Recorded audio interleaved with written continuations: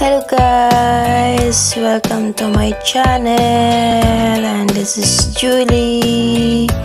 Ngayon pong araw i-share ko po sa inyo. Masakit lang guys isipin na ang tagal kong hinintay na makauwi ako. 3 years na akong nandito sa Saudi. Dapat 2 years lang. Nag-extend ako ng isang taon kasi pumasok yung COVID noong 2020. Naisip ko na hindi muna ako umuwi kasi baka mahirapan ako. Umaasa ako na ngayong 2021 pwede na akong makauwi. Ang sakit lang guys kasi 3 days na lang dapat uuwi na ako. Na-cancel pa yung flight ko. Kahit gusto gusto ko nang umuwi, kahit may ticket na ako, wala po akong magawa. Tuwing magkakausap kami ng anak ko, tinatanong niya ako, Mama, kailan ka na uuwi? Ito lang yung way namin para makapag-usap kami. Video call. Pagka minsan, hindi ko sila nakakausap. Wala silang signal, kaya intay lang.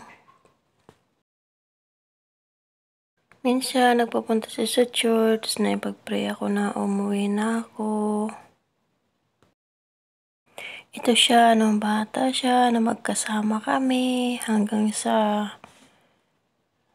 dumating yung time na kailangan ko nang magtrabaho. Marami akong na-miss na mga graduation niya. Nawala ako. Yung part ng buhay niya, yung journey niya, na malayo ako sa kanya.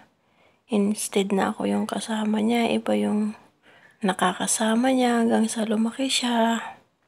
Kaya ganun talaga ang hirap bilang isang OFW. Mga birthday, nawala ako, kundi siya lang.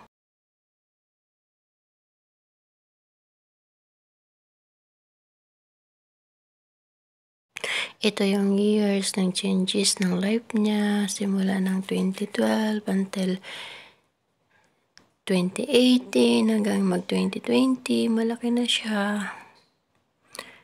Naka, makakalungkot lang na pag makita mo yung anak mo na malungkot, ganyan yung mata niya.